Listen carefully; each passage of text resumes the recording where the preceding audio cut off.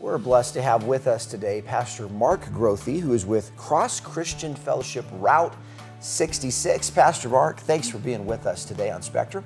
Thank you for allowing me to be here. It's been exciting to, to be able to come back out here. I was like we were talking earlier. I loved coming out here and sp- speaking with your dad when I worked for the Bible College. Isn't that great? It's it's good to renew acquaintances and to see where God is taking Yeah. folks on the, the journey through life. And I guess a great place for us to start today, uh, for folks who've never met you before, tell us a little bit about yourself and and uh, what got you into ministry here in Albuquerque. So I was born in ni- no, just kidding. just kidding. you can go back that far if you want to. It's up to you. He's born in Texas. I do know that. Um, Yeah, I, I- actually, I was born in Texas. My, my mom and dad were from. My, my dad was from here. My mom met my dad here, and um, but you know, um, I, I guess the, the long of the short is is that when my mom and dad divorced, I ended up in New York, and, and I joined the army in um, in '93. Okay. Um, wanting to follow my father's footsteps. Um, and when I when I got out, um, my ex-wife and I ended up out here because I have family still out here and, and nearby, and, and her family was from Texas. Okay. But during during a, a time of growing up, I, I, suffered from from um, alcoholism and drug addiction, and um, was able to, to walk away from that in in '89. Um, but Praise the Lord. still struggled with a lot of life stuff. Um, when I ended up out here and my, my ex-wife left, um, I, I knew that I needed to make a change in my life. Um, and the change had started before I joined the Army. Um, I had gone to a different church because I grew up in a traditional church, and, and, and they can be very lethargical and very traditional, and um, there's a lot of other stuff that, that I won't go into, but it, it just drove me away from the church, and I had gotten into a pagan religion for a while so when I when I realized I needed to make a change, I started attending a non-denominational church out here and, and rededicated my life. That's Awesome. excellent. That's That is great. good. It's you know we don't often talk about all the stuff that happens. We talk about how we came to know the Lord, but many times we do carry stuff with us. Like you still struggle with certain things. Yes. And that probably is. So I understand that you minister to people with addiction. Yes. And so you understand that because Yes. coming out of where you were, is that what led you this direction, or were you even thinking about that? Honestly- ministering to, to people with addiction. Honestly, when, when I rededicated my life, I, I was I was dating a, a young woman who um, was a missionary at SIPI.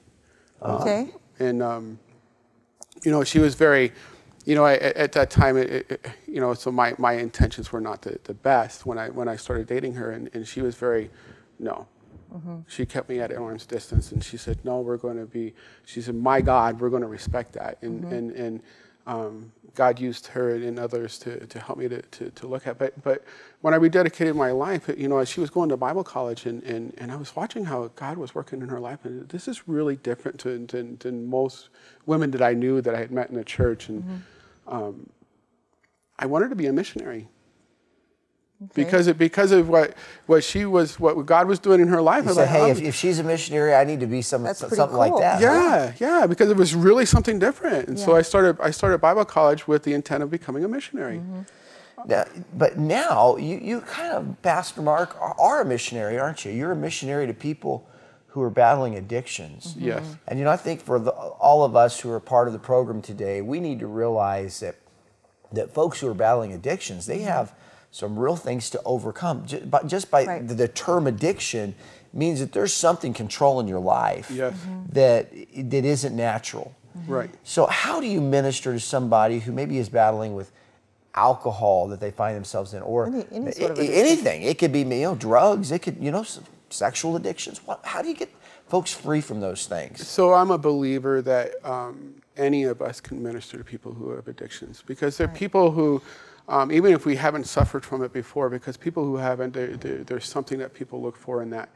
Um, but it really is. It's a. It's really. First of all, you have to have the calling because it's it's, it's a very trying ministry. Um, I, I won't I won't hold any punches on that. Some people think, well, it's easy. It really is not that easy. Right. It is easy with the Lord, but but it, it takes a lot of time. It takes a lot of um, you know, my heart gets torn a lot. Um, so, but it, Probably personal investment, and I would imagine people disappoint you sometimes.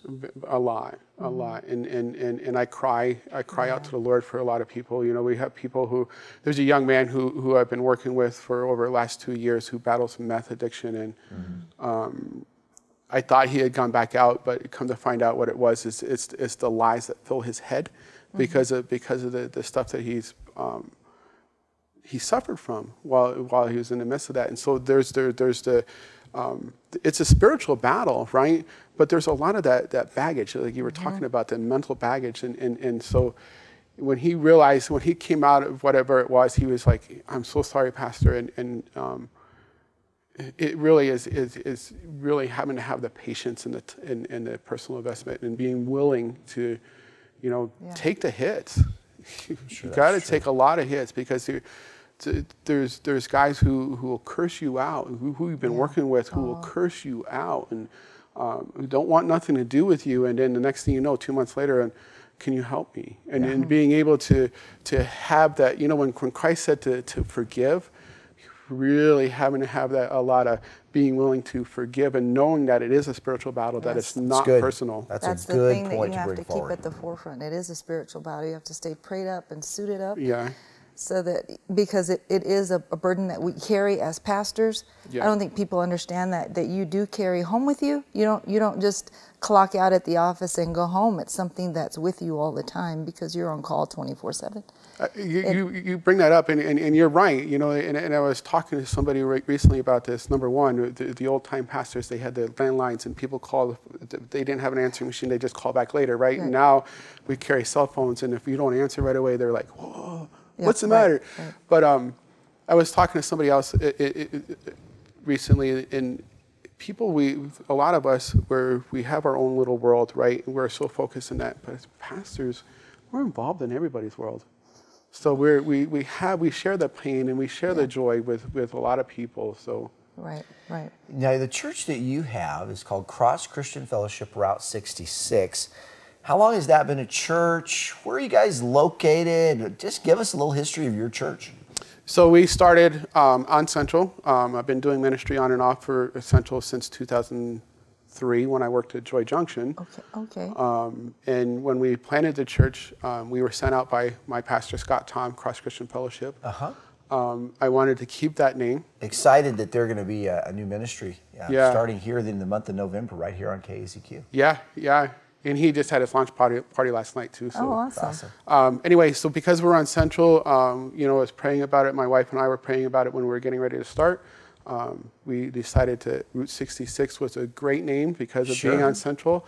Um, but then there was another play into it. How many books are in the Bible? there you go There you go. So when we were on when we were on San Mateo for a few years, we kept the name because we're still going on a journey through the Bible. It's good. Um, so That- that's excellent. that and now, came when do you meet? You meet uh, every Sunday, I would guess. Uh, Do you have other services? Um, so for the most part, we meet Wednesday nights and Sunday nights. And I didn't answer your question where we're at. We're on 4817 Central, which is on Quincy and Central, across from the Highland Theater. Um, but we meet Wednesday nights at 6:30. We start off with a potluck and then a midweek study. nice Okay. Um, and then Sunday mornings at 10:30 um, is our is our main service. Um, but we also have um, an addiction class on Tuesday nights, which is um, it, it's it's centered on um, mentoring Uh huh. okay um, and prayer, and um, and then we ha- we have a prayer meeting afterwards at, at six, and then prayer um, from five to six on Thursday nights. thursday night and that's at, in the same location Same location. And then Saturday mornings, I meet with the men. We do more of a, I went from regular men's ministry to a mentor men's ministry where, where we work alongside of each other. that's awesome Sounds like you are a busy guy. Uh, yeah, working full time at a hospital too and, and having a family, it, yeah, That keep, keeps you moving. it does. Well, praise the Lord for, for your efforts in working Yes. with that area, that community, uh, the friends that are there. And do you have a, a web address or things that people can kind of find out more about you? Yes, so our, our web address is uh, cross66.org. Um, and they can also, people can also call us at 505 369 4989. awesome that'll be available at the bottom of the screen i'm sure yeah Absolutely. Well, so thankful to have Pastor uh, Mark Grothe with us today. And if you're looking for a church, now maybe you're coming out of addiction, maybe you're not. Maybe you're just saying, you know, this I this strikes a chord with me, and I would love to be plugged in. I'd encourage you to, to look Pastor Mark up. Of course, great contact information available for you right on the screen, or just go see them as they're located on Quincy, 416, 48, 4817. 4817. Let's get Central. it right. 4817 Central, Central, yes. which is real close to Central and Quincy, Yes. correct? And uh, so we'll look forward to you being able to connect with them. Pastor Grothe, thanks for being with us today. Thank you.